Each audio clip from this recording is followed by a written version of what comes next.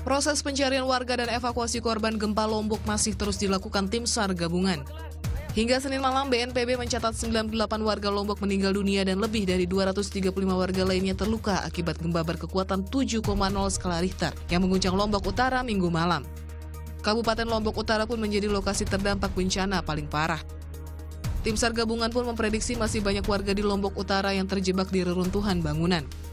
Kabupaten Lombok Utara memang yang paling parah beberapa daerah-daerah yang sampai saat ini juga masih terisolir, belum tim SAR belum ma bisa melakukan evakuasi korban. Kemudian juga beberapa desa-desa belum dapat dijangkau. Besarnya kekuatan gempa juga menyebabkan ribuan rumah warga rusak ringan hingga rata dengan tanah. 20 ribu warga Lombok pun mengungsi di sejumlah titik penampungan. Antisipasi gempa susulan yang dapat mengancam keselamatan jiwa, Pemprov Nusa Tenggara Barat meliburkan seluruh aktivitas sekolah dan perkantoran.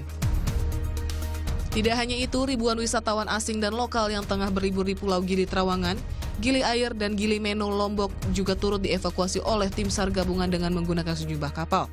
Evakuasi dilakukan atas permintaan warga setempat dan kekhawatiran adanya gempa susulan. Terlebih adanya peringatan dini tsunami yang sempat dikeluarkan BMKG juga membuat warga trauma. Tim Liputan melaporkan untuk NET.